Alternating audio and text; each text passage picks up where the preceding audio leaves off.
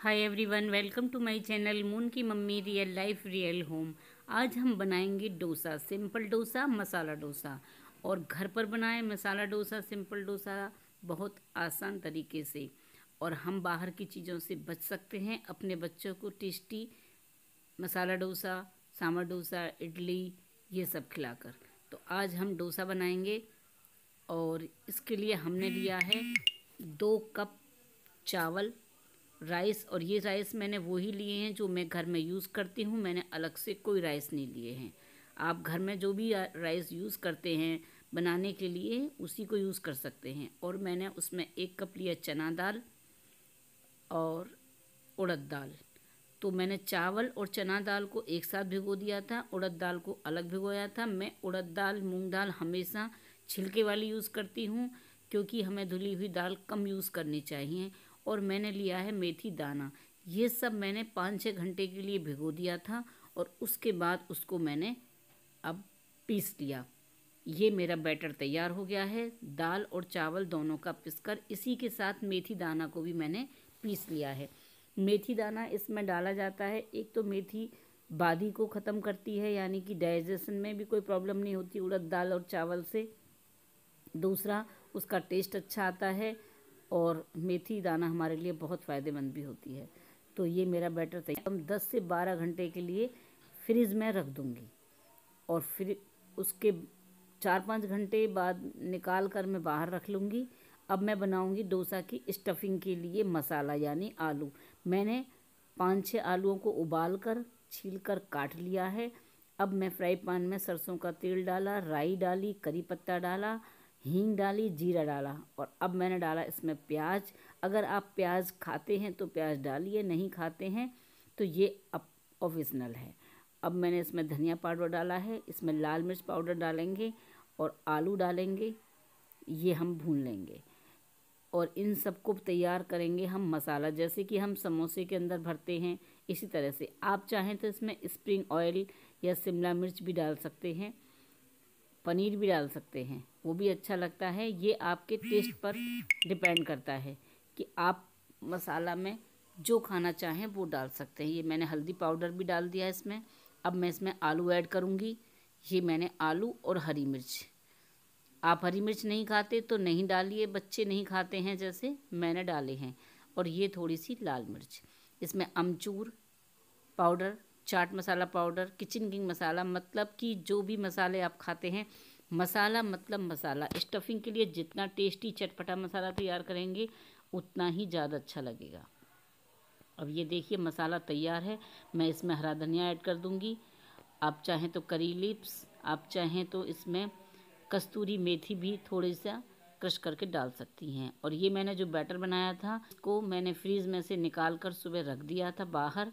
अब ये दोपहर का टाइम है, मैं इसको यूज़ करूँगी। और ये देखिए सिंपल डोसा। मैंने आपको बनाया हुआ नहीं दिखाया, सिर्फ़ मैं आपको एक कलर दिखा रही हूँ, कितना गोल्डन और कितना प्यारा कलर आया है। अब क्योंकि मेरा एक बेटा दोनों तरफ़ से सिखा हुआ खाता है तो मैं इसलिए इस तरह से आपको दिखा रही हूँ। ये बन गया सिंपल डोसा। आप इसमें स्टफिंग ड्राई फ्रूट की कर सकते हैं, पनीर की कर सकते हैं, आपके पास घर में कोई भी सूखी सब्ज़ी बनी हुई है, वो भी कर सकते हैं। और नहीं तो ऐसे ही सिंपल चटनी के साथ खा सकते हैं। नारियल की चटनी के साथ, मूंगफली की चटनी के साथ बहुत अच्छा लगता है। ये सांभर, इसकी रेसिपी मैं पहले ही आपको बता चुकी हूँ और ये है नारियल और मूंगफली की चटनी। तो मैं अब आपको बताऊँगी कि कैसे बनाना है डोसा। पहले हमें फ्लेम ऑन करने के बाद उस पर आप नॉन स्टिक या सिंपल कोई भी तवा रख सकते हैं। उसके बाद हम उसमें हल्का सा ऑयल लगाकर पानी डालेंगे और कपड़े से साफ़ कर लेंगे। उसका हमें तब, तवे का टेम्परेचर बनाना होता है। अगर आप प्याज खाते हैं तो थोड़ा सा प्याज भी उस पर रगड़ सकते हैं। उससे मैंने क्या होता है टेम्परेचर तवे का नॉर्मल रहता है और मैंने आपको भी ये प्याज का भी दिखाया। यानी मैंने आपको दोनों तरीके से बताया है, आप जैसा चाहें वैसा कर सकते हैं। एक चमचा बैटर लेंगे और उसको हम इतने प्यार से घुमाएँगे। इसमें चमचे को फैलाने के लिए, बैटर को फैलाने के लिए चमचे की या आप कटोरी भी ले सकते हैं। वो एक जैसा ही रहता है, उसमें कोई भी परेशानी वाली बात नहीं आती है।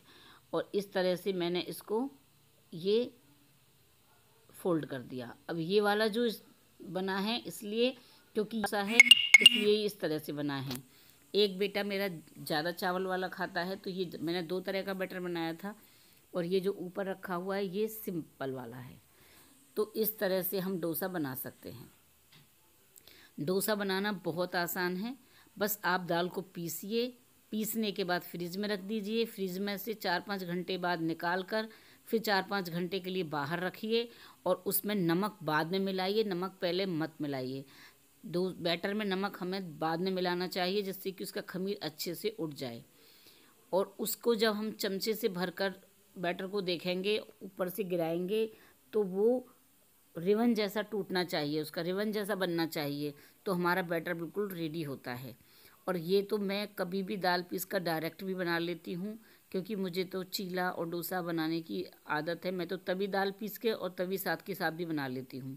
लेकिन अगर आप अच्छा डोसा बनाना चाहते हैं और पहली बार बना रहे हैं तो पहले बैटर को फ्रीज में रखिए, बाहर निकालिए, नमक मिलाइए, अच्छे से फैट लीजिए और उसको पतला रखिए। ज़्यादा गाढ़ा भी नहीं होना चाहिए। जितना पतला आप रखेंगे और कूट के रखेंगे, उतना ही अच्छा डोसा बनेगा।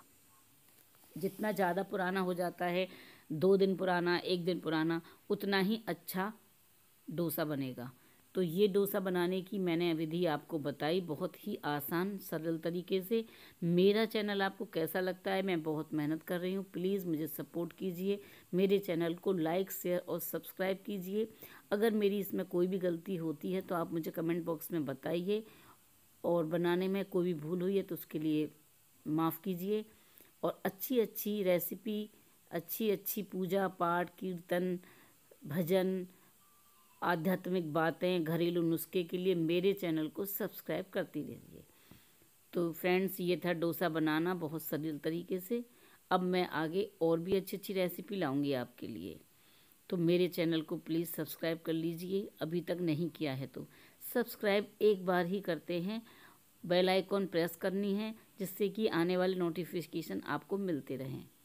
तो ये आपके लिए तैयार है। आप लोग भी खा लीजिए। सांभर। डोसा, मसाला डोसा, सिंपल डोसा, साथ में है नारियल और मूंगफली की चटनी। तो फ्रेंड्स, जय माता दी। और मेरा पूरा वीडियो देखने के लिए बहुत बहुत धन्यवाद। पाँच सात मिनट का मेरा वीडियो होता है, प्लीज़ पूरा देख लिया कीजिए। पता नहीं कौन सी एक टिप्स आपके कभी काम आ जाए। जय माता दी, friends. Till then bye bye